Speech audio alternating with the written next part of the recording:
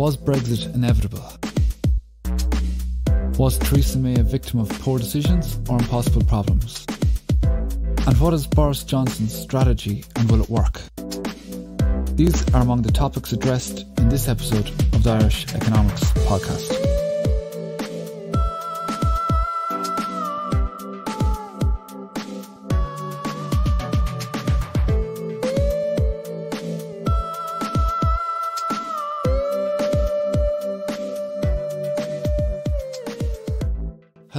Welcome to episode two of the Irish Economics Podcast. On today's episode, I am joined by Professor Edgar Morgenroth, full professor of economics at DCU Business School. Today, we're going to talk about Brexit, focusing on the strategy behind the decision making. So, the main question here is can we understand why past decisions were made, but also can we give insight into what is motivating current decisions? and use this insight to identify the likely outcome of negotiations over the coming months. So, with that in mind, I suppose the place to begin is with the 2016 Brexit referendum. And it was widely believed that the Brexit vote was an attempt by David Cameron to put an end to a rising anti EU sentiment within the Conservative parties. So, so I, I suppose the first question here is was there a better way to handle this sentiment?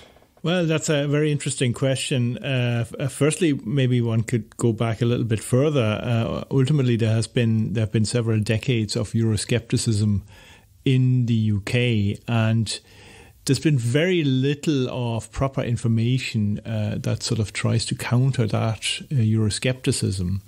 And at the at the time when David Cameron made this uh, sort of promise that there would be a referendum if he uh, was re-elected with a majority, uh, he was fearful not just of some of the people within his own party who were pushing the Brexit agenda, but also UKIP. And uh, I think he, at the time, thought that UKIP would take some seats from the Conservative Party if he didn't make that promise. Sure. Of course, at that point, it didn't look very likely that he would win an, uh, this this election anyway, yeah. and so it was a bit of a surprise when he did come in with a, with a majority, uh, and and uh, that then meant he he would either have to. Uh, renege on his promise or actually go through with it, and he decided to go uh, through with it. An alternative to the referendum would have been to counter the Brexiteer arguments with facts. Yes. Uh, and uh, very few people attempted to do that. That includes the academic community, uh, and, and of which I am one. Uh, economists were fairly silent on all sorts of Eurosceptic uh, uh, propaganda that you could read in some of the, the, the papers. so that would have been the alternative to holding the referendum, simply to actually counter the argument. Maybe could it be said that Cameron may have panicked a little? I suppose one theory I have is that the first past the post system might have distorted incentives. The first past the post system should normally make uh, finding a majority more easy. Uh, if you think of the Irish system, which is a very much a proportional system, uh, there have been coalitions for, for, for, for very many, many decades. And uh, it's really not expected to find an absolute majority for one party. In the UK, that's possible.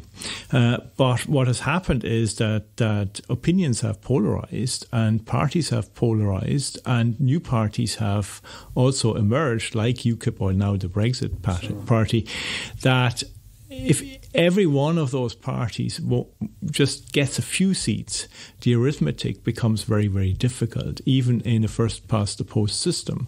And and I think that's where we are now. And of course, the biggest issue for the Conservative Party is that it's internally split. And on top of that, we have a Labour Party that is also internally yeah. split. So finding any kind of majority uh, when the two largest parties can't even find uh, any kind of agreed position is almost impossible. And it would appear then that the focus has moved away from the target objective of serving the people and the distorted incentives towards serving the needs of the party. Yes, and I think at this stage we're, we're very much uh, faced with a situation where the, the, the debate is very inward facing. It's, it's largely uh, uh, you know, how does a diff- uh, each group get what they want within Britain? Uh, uh, for many, and that includes Theresa May when she was uh, prime minister, it seemed that the party was more important than the country, mm. and the country was more important than getting a deal. And uh, uh it's it in, in that sense, you know, maybe the negotiations were doomed to failure anyway because the UK is so divided. So you, you mentioned Theresa May. So there's two frames of thought, I suppose, when it comes to Theresa May and, and, and her tenure. Many people say that she made a lot of strategic errors, but she's also faced with a situation where there's this problem to solve, but there's so many different constraints that it's very hard to find a solution that would give you the outcome that they wanted. I think her approach uh, was extremely flawed. Um, so before triggering Article 50, it would have been useful to actually trash out an agreed position that the House of Commons could support. Yeah. Uh, and failing to do that, she was negotiating on her own without the support of the parliament. We know where that ended up. Uh, we we've had uh, so many votes on the withdrawal agreement and everything around it, yeah. and you know the parliament uh, wants their cake. They they want to eat it as well, and they want another one or two in spare. Um, so it, it's impossible to negotiate when you when you're not sure, and indeed. Uh, even a year ago, I, questioned, uh, certainly on Twitter, uh, whether it was worth negotiating with her at all because it didn't look likely that any deal that she could come back with would find the support of the parliament. Yeah. So that was the first po- problem that uh, I think she she uh, made a mistake on. She should have gotten an agreed position, and only then uh, triggered the Article 50 negotiations. The second uh, very big mistake she made is to start negotiating uh, with the EU in a very confrontative way. Uh, rather than saying, look, you know, we have a democratic uh, outcome here from a referendum. We're going to try and do this as amicably as possible.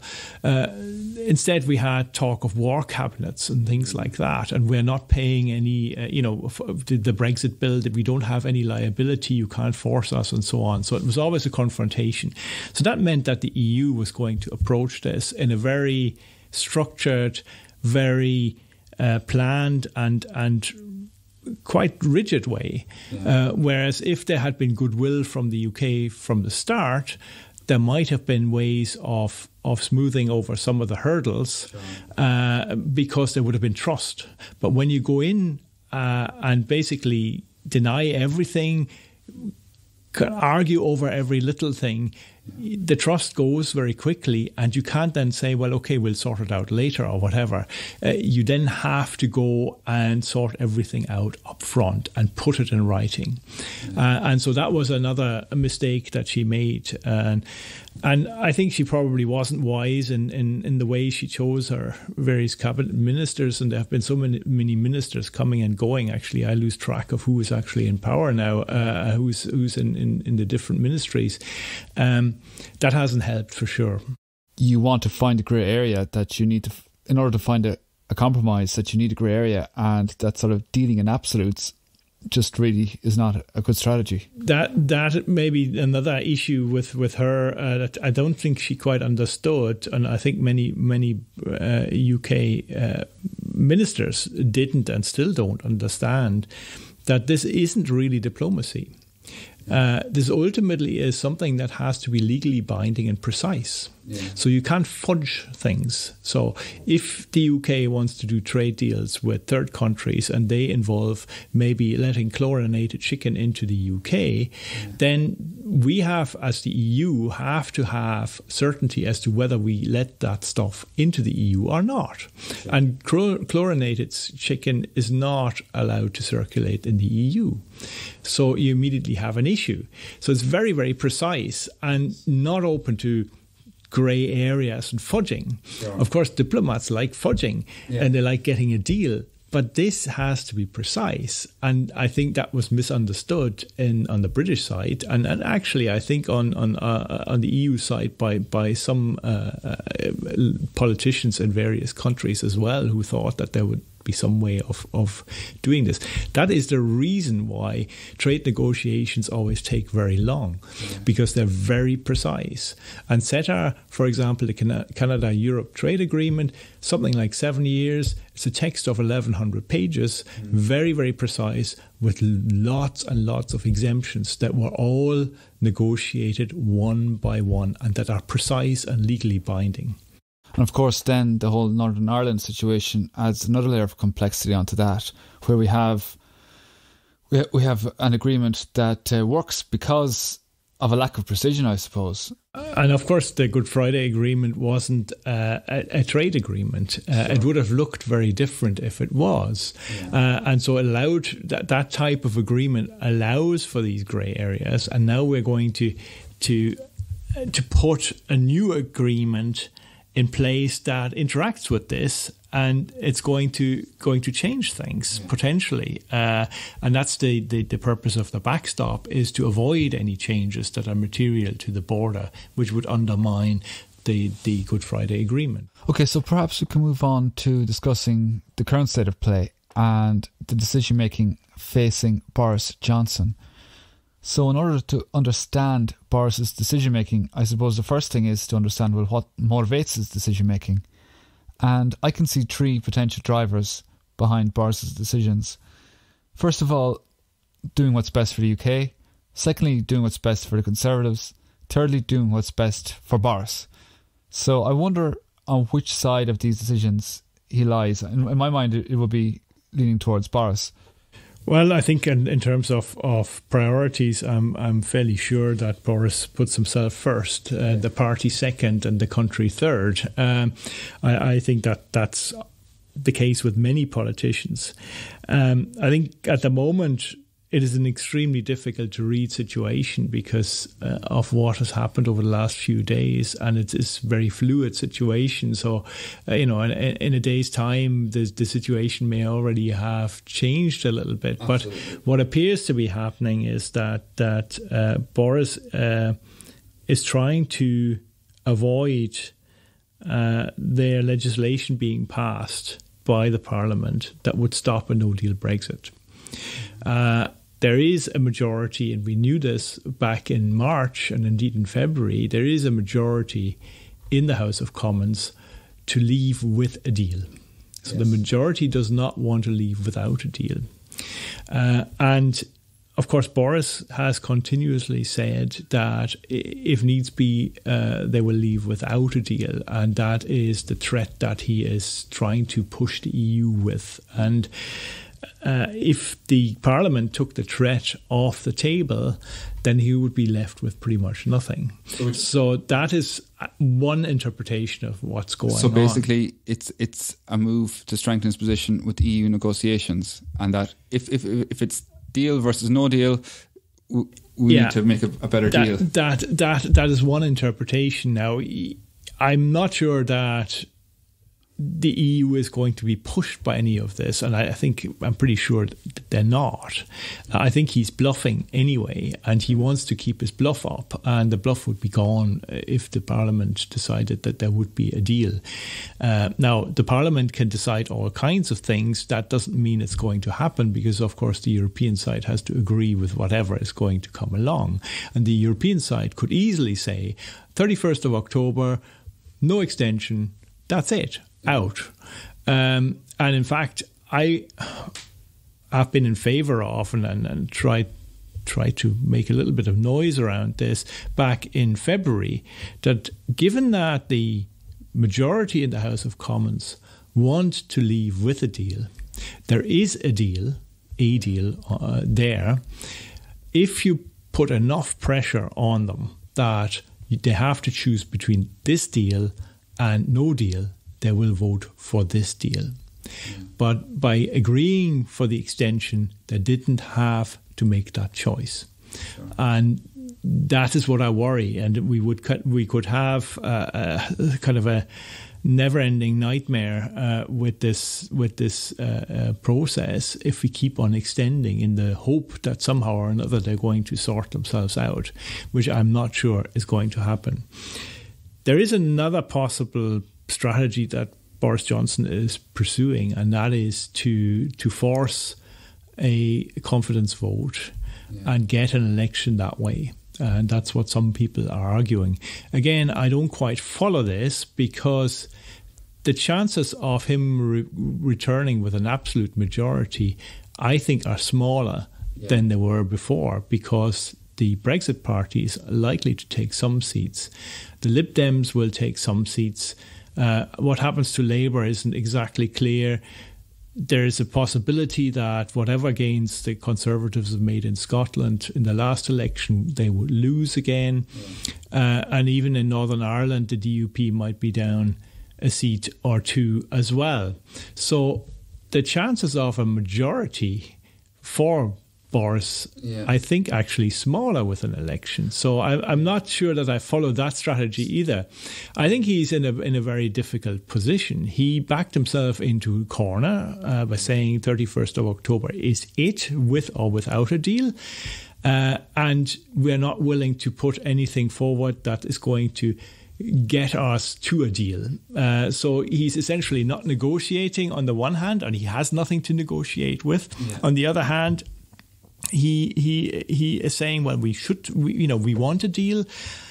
He, he he's kind of left out. You know, I don't think he has any cards left. I suppose it is. It's a game of poker in that he has to pretend he has all the cards, but he knows deep down that the House of Commons will not accept no deal. So he can afford to be bullish without having to incur the costs that usually come with that. But you end up running out of time, and that's what he's trying to do. He's run, uh, running down the clock, uh, and uh, there was always I, have always had this fear that that is exactly what the UK would do. They would run down the clock. Um, the the border issue is not solvable um, if the UK insists on their red lines, it's not solvable. Uh, that there is no solution.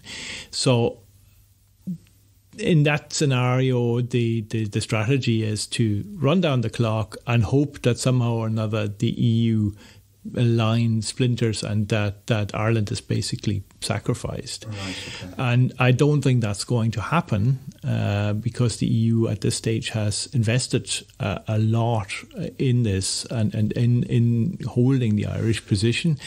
Uh, and it's also something that other uh, EU member states, smaller member states, will be watching. You know, if a if a small member state uh, is threatened uh, significantly by some decision that is taken at the central level and there is no regard for it, I think that sets a very bad precedent. And again, I think in Brussels, one is keenly aware that uh, they don't want to set that kind of precedent. So the EU position is unlikely to change. Yeah.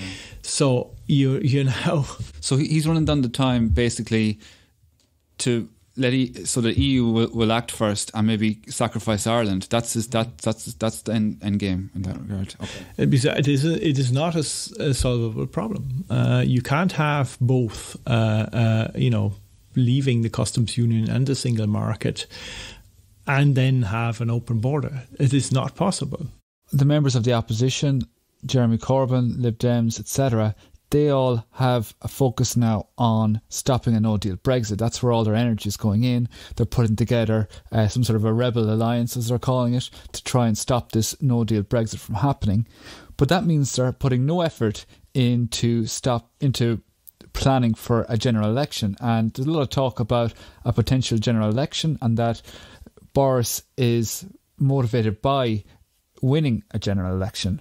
So I just wonder how this fits into the whole narrative. That would would imply that the Tories are preparing for an election, and I'm not sure that they're uh, they're uh, doing that either, because they seem to be internally uh, so divided uh, that uh, you know I I think they're they're they're equally uh, absorbed with the with the Brexit issue. Um, so I, am not sure that the Tories are having any advantage in this. I think that, that all parties are very much absorbed with Brexit and okay. not really preparing for an election. If there is an election, it will be all about Brexit anyway. Yeah. Uh, so maybe maybe sticking with the Brexit topic is is a is a relatively low risk uh, strategy for all the parties anyway. So one other thought on that is that with his hardline strategy, he seems to be consolidating the hardline Brexiteers behind him, which could help him when it comes to an election or whatever, or in terms of the Brexit strategy. Whereas he seems to be fragmenting the anti Brexiteers. But it seems that the numbers of hardline Brexiteers uh, don't make up a majority. And this is the problem. There is no majority for anything. Yeah. Uh, and with something like that, I would have thought going back to the people with a referendum would have been the way out. Yeah. But that seems to be the bit that almost everyone has been has been dismissing, and uh, certainly on the Tory side, yeah. uh, uh that might have been the simplest way to get out of this bind, uh, because ultimately the the, the the present situation is going to damage democracy within the UK, and by by doing what he's doing currently, uh, you know, suspending Parliament, uh, you know, this is the sort of stuff that you would have seen in in in sort of fascist regimes. You know, that is is an amazing uh, uh, development to to think that that Parliament is essentially shut down to to facilitate something or to prevent something yeah. democratic from happening. Because if there's a majority in the House of Parliament, it is democratic. So perhaps next we can turn to Jeremy Corbyn. Jeremy is an interesting character in that he's anti-EU, if you believe some of the signals he's given in the past, and would probably like to see Brexit passed. I wonder, he like he is in a difficult position, but what would be his best strategy going forward? Yeah, I I always thought that his optimal outcome would be a Brexit delivered by the Tories that goes in some way wrong yeah. and delivers an election that he would win. Yes. Um, I'm not sure that that quite such a scenario is on offer and and that's why he is now considering different options. But ultimately, he wants to become prime minister. Uh, and uh, that that seems to be what he is trying to do, and that then makes it less likely that you could form a cross-party or cross-interest uh, uh, government in the House of Commons, uh, because there would be some Tories that are Remainers uh, who would be suspicious of him. Uh, you know, as a you know some kind of a power grab. Mm. I think that would be the same in with some Lib Dems. Uh, they would worry about it, and of course, even uh, the likes of the SNP uh, or, or, the, the Welsh, uh, who have been competing traditionally with Labour, would be electorally very suspicious of Corbyn. So it is kind of a perfect storm in terms of the sort of makeup of the the Parliament in Westminster and the leaders that are present at the moment. Uh, it it makes the worst possible outcome so much more likely. Unfortunately, yeah. if you had someone like uh, Tony Blair there uh, it would have been a hell of a lot easier for some of the conservatives to say, okay, well, we go with this guy because he wasn't quite so far from them anyway. Yeah, sure. But Corbyn, of course, is quite a distance from uh, uh, the, the, the, sort of even more moderate Tories. So I think that would be f- quite difficult for them to, to swallow that one. Yeah, absolutely. There was that uh, proposal, of course, where it would be a cross party effort to try and stop uh, no deal Brexit, which would not have Jeremy Corbyn as head, but have somebody who'd be more palatable on Labour and Conservative sides.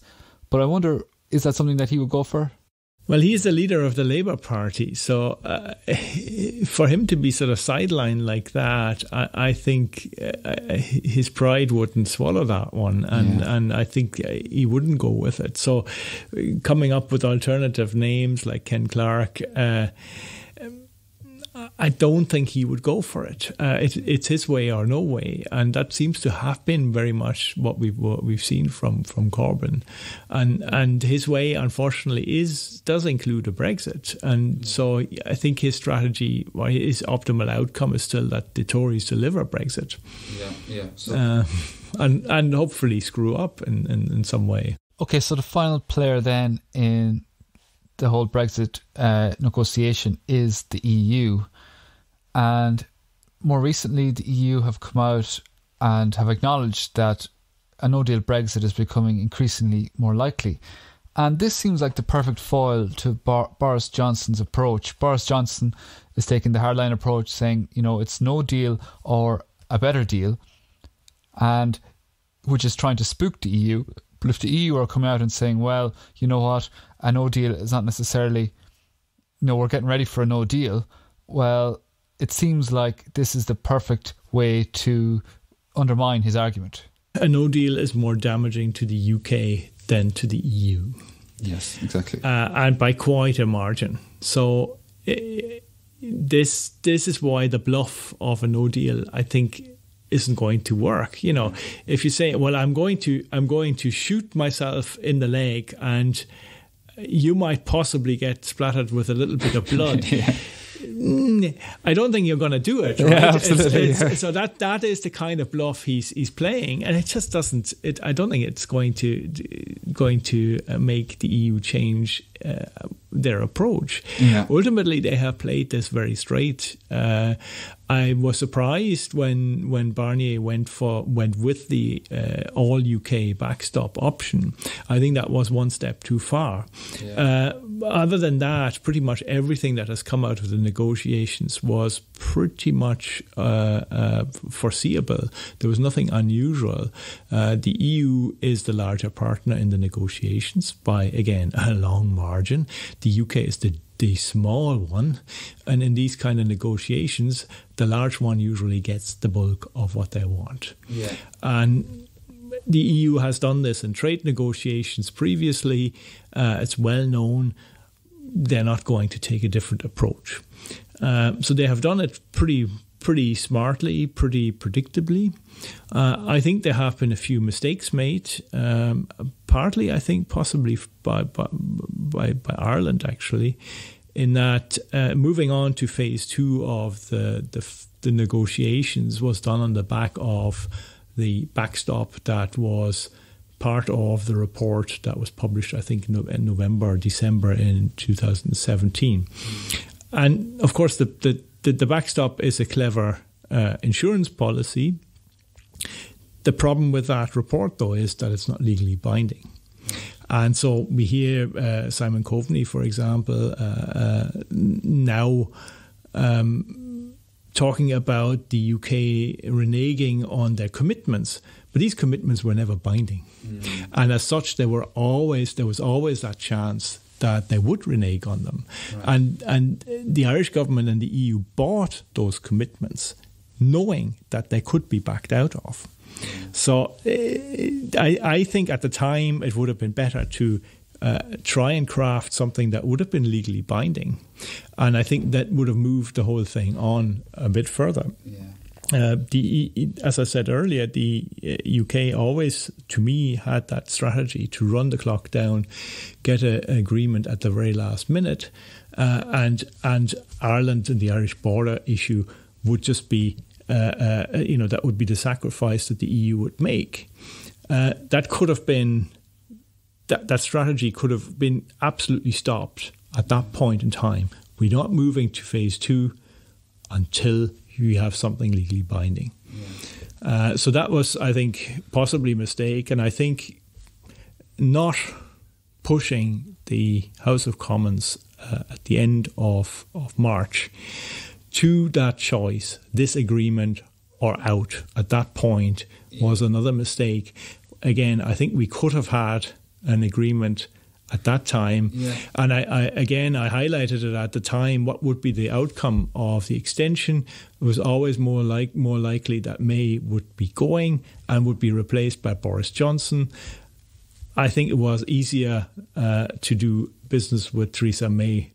Okay, so maybe we can sum up this section by maybe thinking about what these strategies are, maybe summarizing them uh, and trying to see what might be coming down the line. Um, okay, we start with Boris then. As we said, he wants a better deal and he's willing to leave with no deal in order to make this claim stronger. He's blocking the House of Commons to try and make this uh, a stronger case in order to get his better deal, he's relying on the EU and Ireland to cave in. And as we've discussed, it's going to be quite difficult for the EU and Ireland to cave in. It's quite unlikely that they'll cave in. So then, what's the likely outcome? Well, to avoid a no deal, I suppose one of two things needs to happen. Number one, Boris needs to back down, and this seems like a politically very difficult thing for him to do. Secondly, the rest of the Commons need to save the UK from no deal. But of course, this is becoming increasingly more difficult. Uh, the only way I can see that we're going to get uh,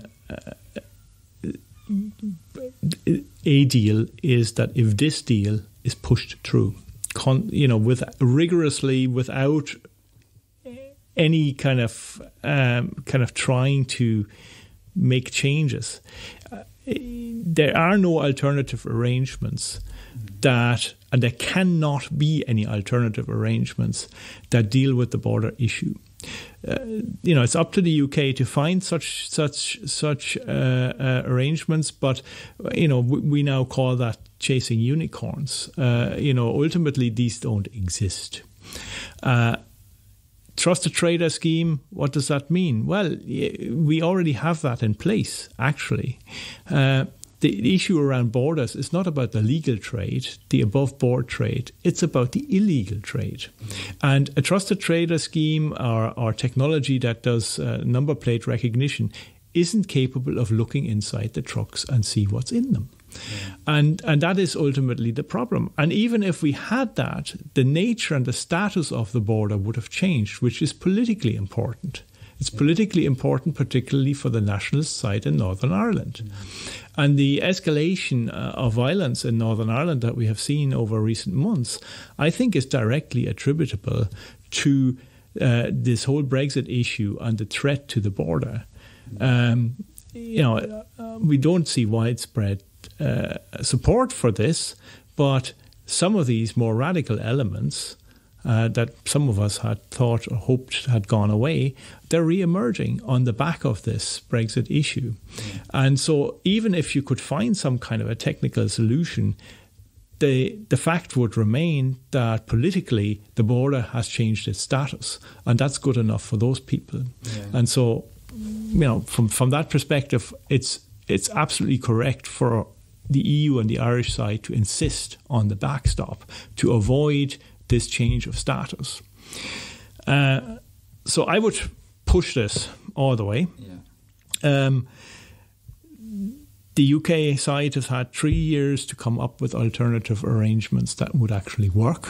Yeah. They don't exist, and nobody will come up with them. We have lots of people coming out of the woodwork now at the last minute with some clever solution that turns out never to be a solution yeah. because other people would have thought about it uh, all the time, all along. Um, so that that is really the only way I think we're going to get to an agreed, uh, orderly uh, Brexit. And unfortunately, I think the the chances have for a long time now been uh, bigger that there is going to be a no deal Brexit. Yeah. And at the end of the day, and this is something that I think on the EU side uh, we have to realize, is that the Brexiteers won the referendum. Yeah. And Brexit to them didn't mean a situation like Norway. Uh, it meant out, out of the single market, out of the customs union. So yeah. they won. And it's it'll be very unusual for them to have won and not get what they wanted. So basically, Boris Johnson's strategy is going to be really tough now. The, the, there's actually a possibility that he does not care whether it's a deal or no deal. Yeah. I, I mean, we can't look into his head, but uh, uh he, he he has been so swathing about the EU for so long. I mean, he, he wrote some of the the, the, the crazy stories uh, uh, about the EU that, that sort of fed the Eurosceptic yeah. Uh, uh, base there's a possibility he believes that stuff. Uh, there's a possibility that he really believes that the UK must leave and maybe without a deal is the best way to leave. I think he's very wrong because yeah. ultimately he wants a deal, a trade deal at some point with the EU, and leaving on bad terms is just about the worst way to to get a, a basis for negotiations in the future. Uh, and again, that brings me back to what I said earlier about Theresa May and her confrontational approach. that is the worst way to get your way in the end. Yeah. So that's interesting. You mentioned the fact that he, he doesn't want to leave on bad terms and he's going about that the wrong way at the moment. But then there's also the fact that we've no infrastructure. You touched on that already. Well, minimal if when it comes to a, a no deal situation in Ireland and in the UK. But does that make it a no deal situation an impossibility in that, that if in, if we knew now for certain that there's going to be no deal Brexit, we wouldn't have the infrastructure to do it. It, it, it, it would likely to be postponed the, until we do have the infrastructure. The the impor- unfortunate thing is that there's also the, the sort of blame game uh, that has to be played out, and that uh, that is where the EU and the Irish side don't want to be blamed for any border infrastructure yeah. by putting it up before it actually is necessary. Okay. Uh, and that that then c- creates a vacuum. Uh, I think, and I, I, think it's it's it's a mistake to go down that route. Uh, it doesn't really matter who the the English or British people blame. Uh, at the end, it doesn't really matter. Yeah. Uh, as long as the EU and the Irish side know who to blame, that is all that matters to us. Yeah. But they are worrying about who is going to put the blame on the mess in Britain. I wouldn't worry about that. They're going to be no longer a member of the EU and therefore a third country and not that relevant. Well, so one of the, so you mentioned before about the Brexiteers. Um, they wanted a certain type of Brexit, but at the time of the referendum, it wasn't really clear what Brexit meant. So you have the sort of circular system where you have, as you were saying, you don't have a majority for anything, but you don't have a majority for Remain, you don't have a majority for hard Brexit, you don't you don't have a majority for, for soft Brexit. Yeah, I mean, the, the, the, one of the things about Brexit that I think most of us, me included, didn't realise is the complexity. Yeah.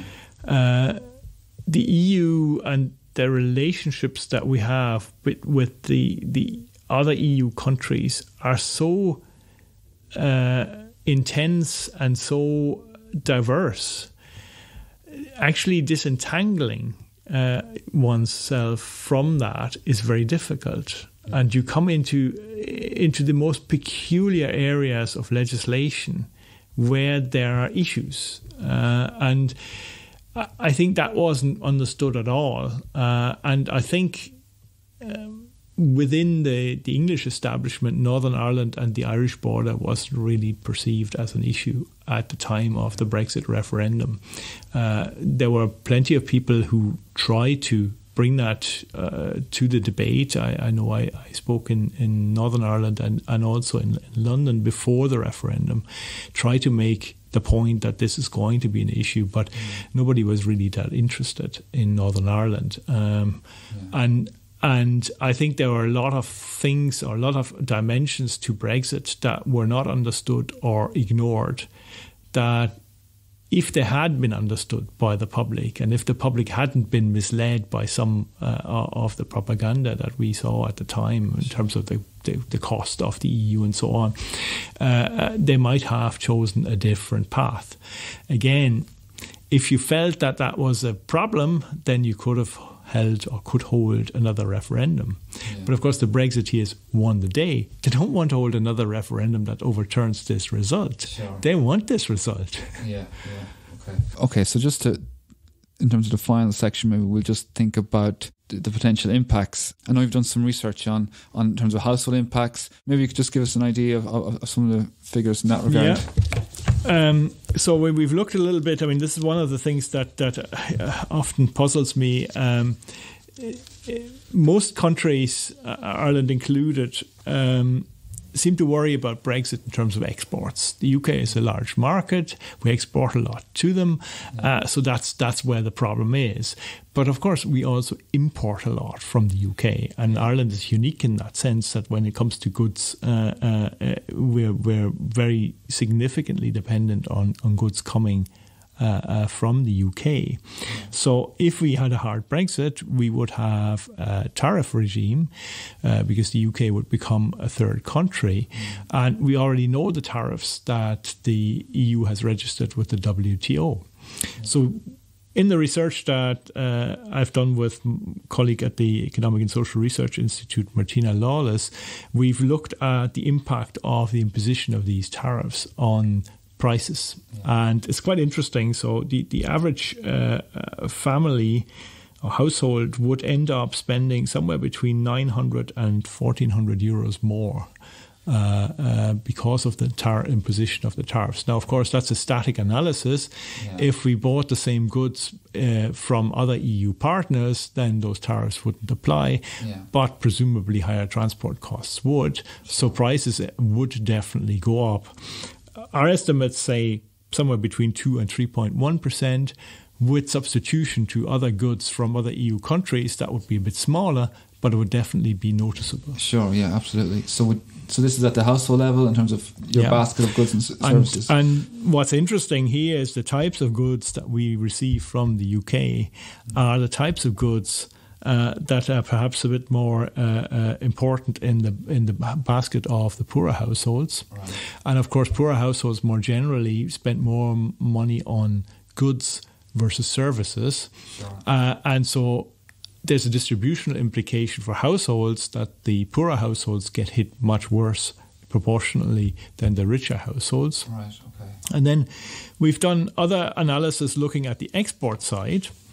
And here we find that the, particularly the agri-food sector is vulnerable, but there are a few other sectors. For example, the, the wood, eh, wood and wood products, over 80% of their exports go to the UK.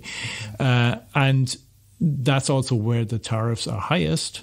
If the UK reciprocated with a similar tariff, uh, then those sectors would be hit very badly. And of course, those sectors are regionally uh, distributed or most most frequently found in the, the poorer regions. So, uh, for example, in County Monaghan, one in five jobs is in agri-food.